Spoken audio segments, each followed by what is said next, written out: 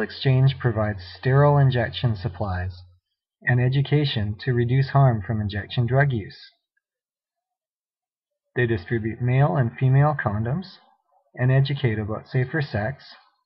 They provide safe disposal of used injection equipment. The staff at the Needle Exchange can provide counseling and referrals to other healthcare and social service providers.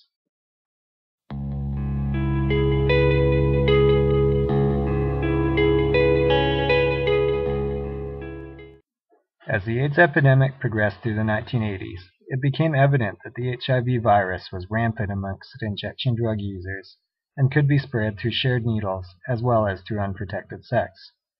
To prevent the spread of HIV and other bloodborne pathogens, sterile injection equipment and condoms began to be distributed free to injection drug users.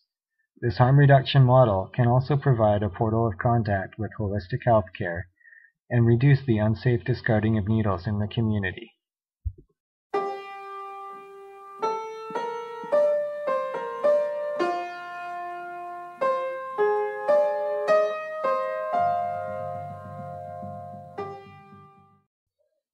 An abscess is a localized collection of pus inside a pocket of tissue caused by infection or foreign material.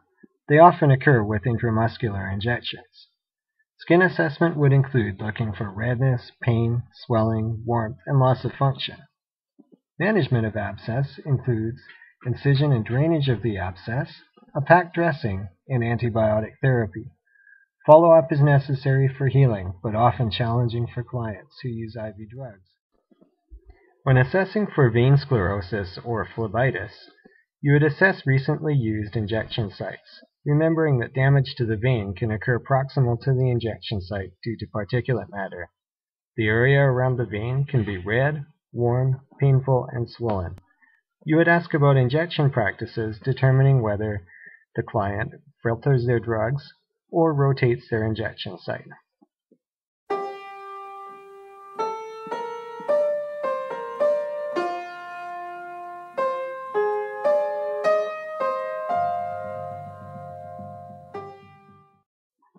Most needle exchanges provide blood testing for HIV and hepatitis C virus, as well as counseling services.